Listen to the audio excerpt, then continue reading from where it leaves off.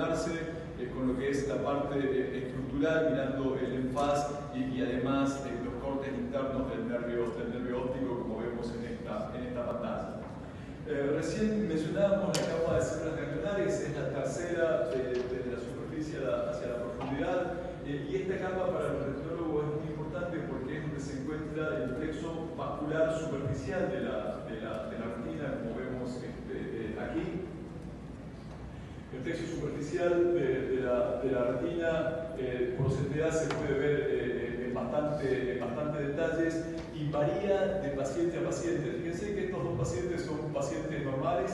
Eh, los de la, superficie es un CT en el que estamos acostumbrados a ver con una profundidad fobial característica. Pero fíjense que los CT de abajo tienen unas capas supernumerarias en la fobia también pertenece a un paciente normal con 20-20 de, división.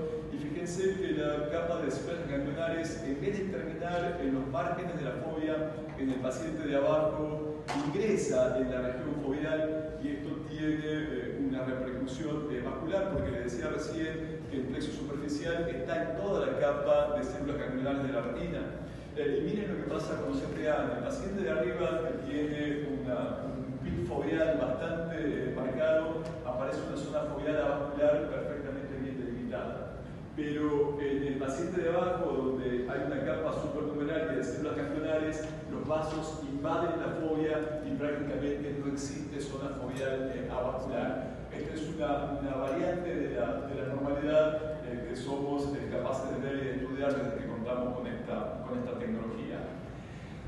Como muy importante también, vamos a decir que en la capa de células ganglionares está la, unidad o el complejo neurovascular, donde los vasos de la retina están rodeados por astrocitos y, y microglia. De esto, cada vez